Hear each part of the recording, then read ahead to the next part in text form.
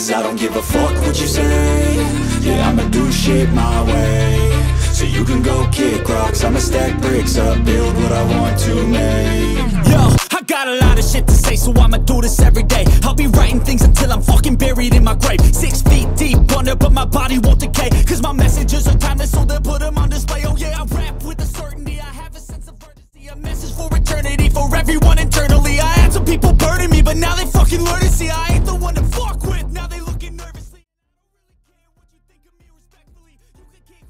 Dalinya ungkap kelebihan teknik balap Marquez dibanding Banyaya. Apa itu? Gigi Dalinya yang menjadi komandan tim Ducati mengungkapkan lebih detail menyangkut alasan atas pilihan manajemen terhadap Marc Marquez. Maksudnya sebagai pendamping Francesco Bagnaia, Pecco. Pada intinya, Dalinya yang identik dengan inovasi atau hal-hal baru pada pacuan Ducati menginginkan peluang yang lebih besar untuk kembali meraih juara dunia MotoGP 2025. Dengan menggaet Marquez, maka dipercaya kalau Ducati semakin kuat. Walaupun harus mengorbankan Jorge Martin, Pramac Racing, dan Enea Bastianini, Ducati Lenovo. Saya pikir penting untuk memiliki dua pembalap yang bisa memenangkan juara dunia. Perlu dipahami siapa yang pada tahun 2025 menjadi pembalap terbaik untuk memenangkan gelar.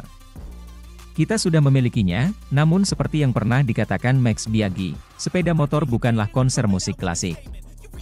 Banyak hal yang bisa terjadi, terutama dengan peraturan yang berlaku saat ini, dengan sprint, race, dan yang lainnya. Jadi penting untuk memiliki dua pembalap yang mampu memenangkan kejuaraan dalam tim.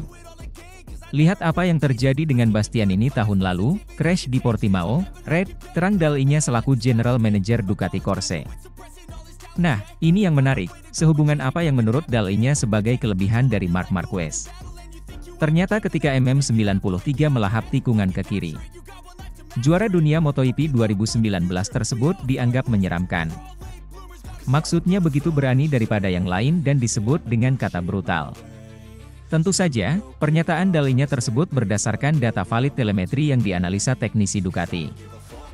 Namun memang secara umum disebutnya bahwa Pecco dan Marquez itu seimbang secara teknik balap, masing-masing punya plus minus. Katakan saja, biasanya, terutama di tikungan kiri, itu brutal. Pengereman terkadang lebih baik, tapi di lain waktu Pecco, Banyaya, lebih baik. Menurut pendapat saya, mereka berada pada level yang sama, tambah dalinya. Sementara itu, Bezzecchi keceplosan, siap pindah dari Ducati ke Aprilia Marco Bezzecchi, Pertamina Enduro VR 46, diisukan akan pindah ke tim Aprilia jadi duet bersama dengan Jorge Martin untuk musim depan, 2025. Bagaimana tanggapan murid VR46 yang berusia 25 tahun ini? Saat pertama, dia bilang bahwa ingin fokus dalam perjalanan seri MotoGP 2023. Tetapi kemudian ketika ditanya, apakah ada minta dari pabrikan lain, BZC mengiyakannya.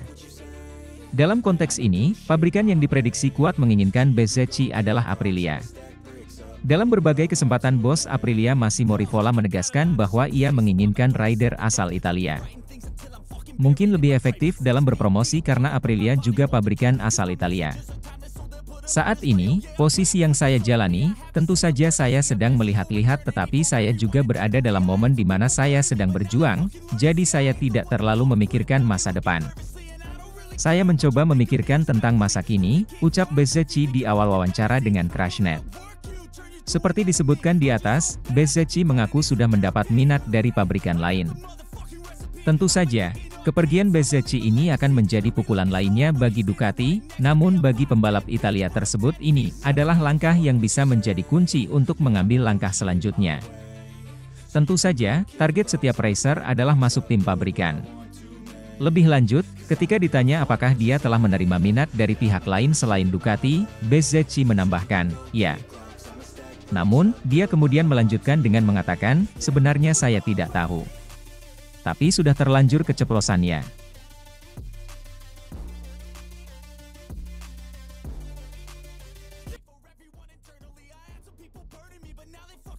Ducati dominasi rekor MotoGP Belanda di sirkuit Assen, peluang Jorge Martin amankan puncak klasemen. MotoGP Belanda 2024 yang digelar di sirkuit Assen akan jadi balapan terbaru di Juni 2024 bulan ini. Race seri terbaru di kalender MotoGP 2024 tersebut itu akan jadi palagan teranyar bagi para pembalap. Untuk bisa merebut podium utama di sirkuit Asen. Yang akan berimbas pada peringkat tiap pembalap di tabel klasemen MotoGP 2024 sementara.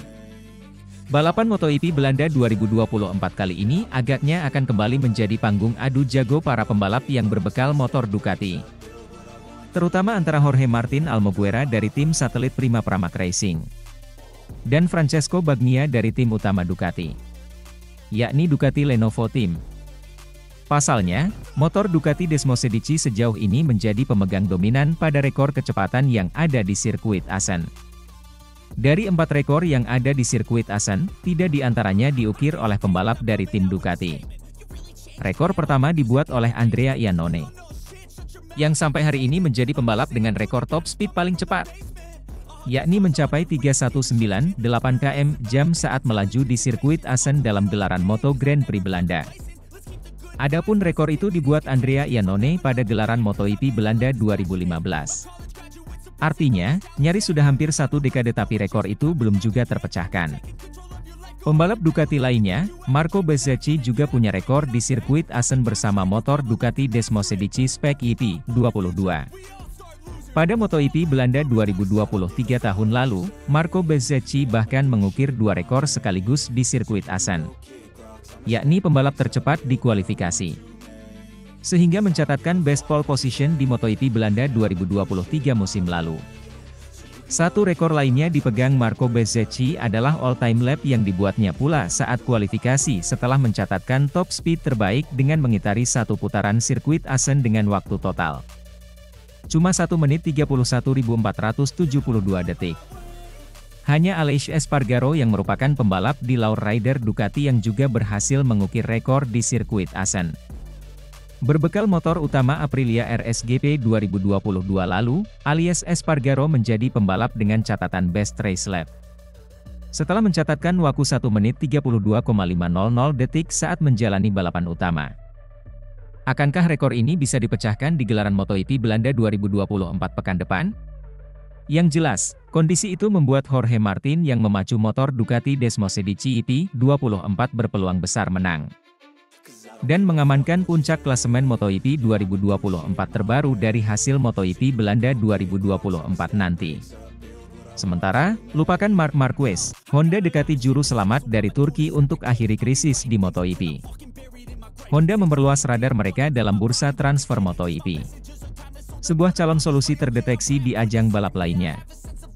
Honda masih mencari jalan keluar untuk keluar dari krisis yang telah mereka alami dalam tiga tahun terakhir di MotoGP.